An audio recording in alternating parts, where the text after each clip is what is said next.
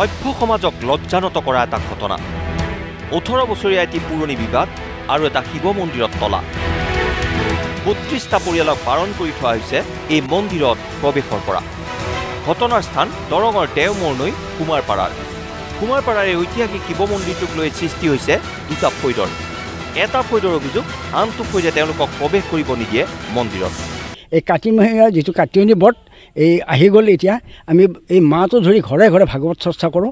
সেই কান্দি কাটি কিন্তু শান্তি বোলা বস্তুটো নাই তাৰমানে আমাৰ অসম মানুহ আৰু বিয়া দিব লগা ছোৱালী মন্দিৰত সেৱাকাৰী মানে বিদায় লৈ যায়। কিন্তু আমি ইয়াতে এই দুৱাৰমুখত এখন নৈবেদ্য দি তলা লাগি থাকে। কিন্তু এতিয়া তলা লিখাৰ সোমাবই নিদিয়ে।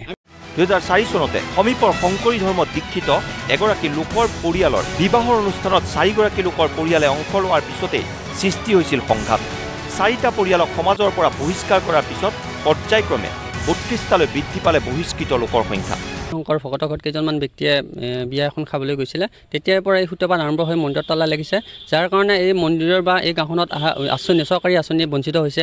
আজি এই পিটনি পৰা পুখুৰীটো কোনো উন্নয়ন নাই। কুমাৰ পৰা কুমাৰ চুবুৰী আশী ঘৰমান মানুহ আছে। তাৰে ভিতৰত বত্ৰিছটা পৰিয়াল সম্পূৰ্ণ ডিপ্ৰাইভ বিভিন্ন আবেদন নিবেদন কৰাৰ পিছতো তলা খুলি নিদিয়াৰ পিছত এনেদৰে মন্দিৰৰ বাহিৰত বহি আগবঢ়াবলগীয়া হয় নৈবেদ্য। তাৰমানে আমাৰ লগতে আছিলে গোটেইকেইটা। একেখন খেলতে।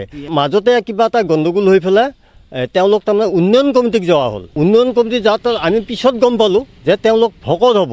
আমি খুব বুজা বুজি কৰিলোঁ পিছত বুজা বুজি কৰাত নামানিলে। নামানি পেলাই যেতিয়া ক'ব তেতিয়া পঁচিছ টকা চহী কৰ। তোমাৰ কৈছে অঁ আমাক শিৱ মন্দিৰো নালাগে আমাৰ শিৱ মন্দিৰ সম্পত্তিও নালাগে। বুলি পেলাই তেওঁলোকে তাতে প্ৰস্তাৱত চহী কৰি থৈ গৈছে। আমাৰ কোনো নিদিয়াৰ পক্ষ নাই।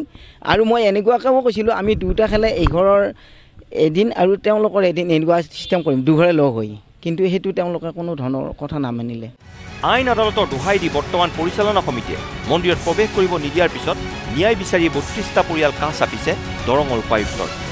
চিপাঝাৰৰ পৰা ৰঞ্জিত কুমাৰ নাথ নিউজ লাইভ।